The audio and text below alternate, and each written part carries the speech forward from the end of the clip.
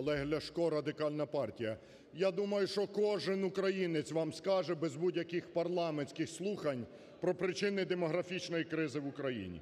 Головна причина цієї демографічної кризи – люди не вірять в майбутнє, люди бояться народжувати дітей. Тому що немає де народжувати, де жити, як поставити на ноги дитину, де заробити на ліки, на харчування, на житло. Немає необхідних медичних послуг, немає створювати в першу чергу робочі місця. Єдина можливість подолати цю кризу – дати людям упевненість у завтрашньому дні. Щоб коли молода українська дівчина народжує дитину, щоб вона мала власний куток, щоб вона мала роботу, щоб нормальну зарплату, можливість ту дитину здати в дитсадок, у школу, вивчити і потім мати роботу. Тому питання демографії – це комплексне. Мій шановний колега Віктор Галасюк уже демонстрував сьогодні прогнози Організації Об'єднаних Націй. 30 мільйонів українців залишиться на нашій благословенній землі, якщо ми радикально не змінимо ту політику, яка веде до прірви. Радикальна партія пропонує радикальну зміну економічної політики, можливість мати роботу і зарплату українцям в своїй рідній країні.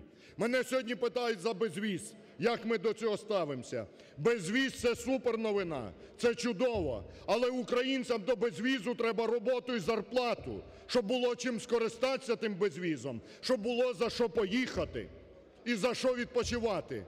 А коли в людей немає за що жити, то їм байдуже той безвіз. Найбільше, що сьогодні хвилює українців, це низькі зарплати, низькі пенсії. Хочете подолати демографічну кризу, дайте пенсіонерам нормальну пенсію. Хочемо подолати демографічну кризу, дайте молоді житло.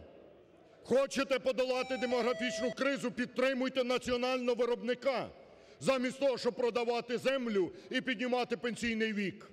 Тобто відповідь на питання, як подолати економічну кризу, проста: проводити політику економічного націоналізму, створювати робочі місця для українців, піднімати зарплати, пенсії і всі інші доходи для українців, проводити політику розвитку України, а не перетворення України на сировинну колонію, де будь-яка нормальна людина просто не хоче жити.